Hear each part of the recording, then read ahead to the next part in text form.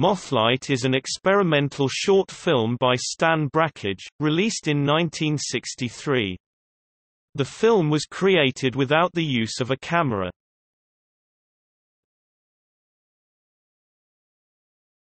Topic. Description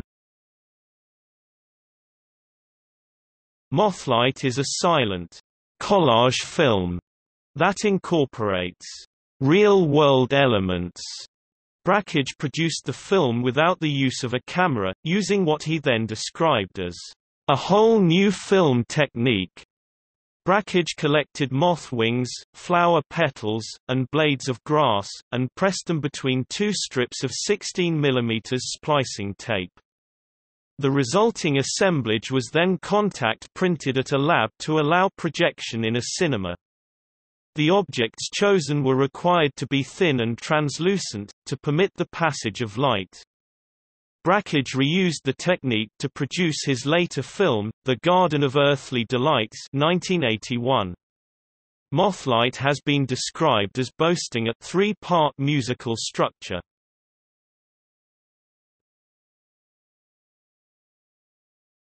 Topic: Production. Brakhage was initially drawn to the idea of using moths in a film when he noticed many of them burning to death in a candle.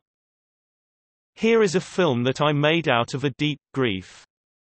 The grief is my business in a way, but the grief was helpful in squeezing the little film out of me, that I said, these crazy moths are flying into the candlelight, and burning themselves to death, and that's what's happening to me. I don't have enough money to make these films, and I'm not feeding my children properly, because of these damn films, you know.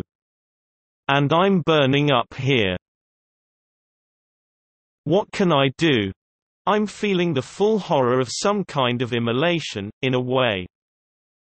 After spending some time following live moths with a camera, an exercise that proved fruitless, Brakhage instead turned his attention towards using dead moths.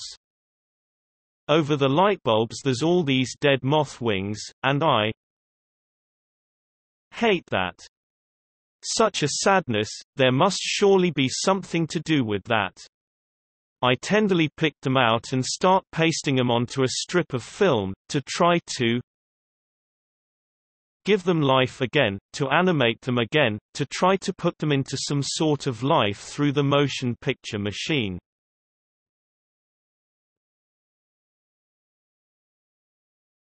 Topic. Reception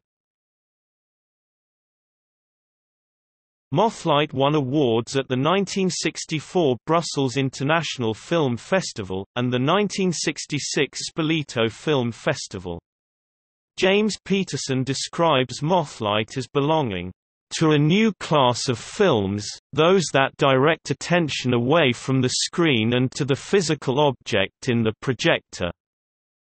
Dara O'Donoghue, writing for Senses of Cinema, praised the way Brakhage evokes the moth not through cartoon mimicry, but by the fragile sensation of its movement, batting against the screen, hurtling in descent.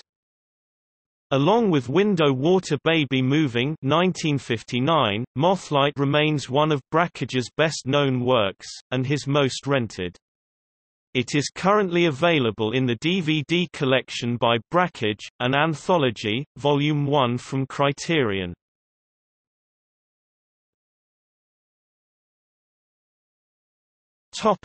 See also List of American films of 1963